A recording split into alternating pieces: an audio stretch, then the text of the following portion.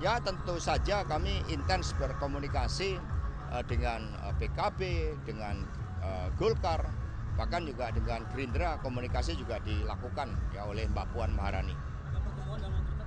Kalau pertemuan ada, jadi saya minggu yang lalu bertemu dengan uh, Pak Muhammad Iskandar, bertemu dengan Pak Erlangga Hartarto, dan kemudian kami juga akan atur uh, pertemuan secara tertutup uh, terlebih dahulu dengan Ibu Megawati Soekarno Putri. Ya ini kan spirit kalau lingkungan uh, eksternal strategis kita seperti Iran dan Arab Saudi saja bisa bertemu meskipun itu melalui campur tangan Tiongkok. Kita ini para pemimpin bangsa ini kan punya visi masa depan.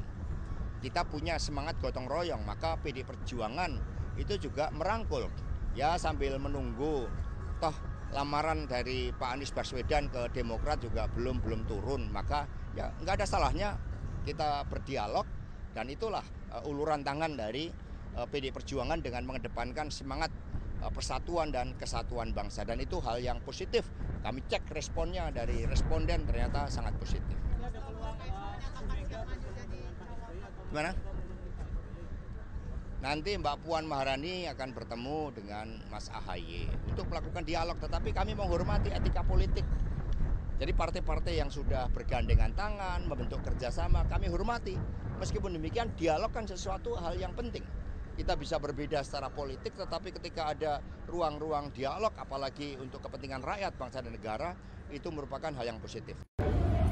Sudah tahu informasi terbaru belum? Kalau belum, langsung cek YouTube Liputan MSCTV. Jangan lupa subscribe, komen, like, dan juga share.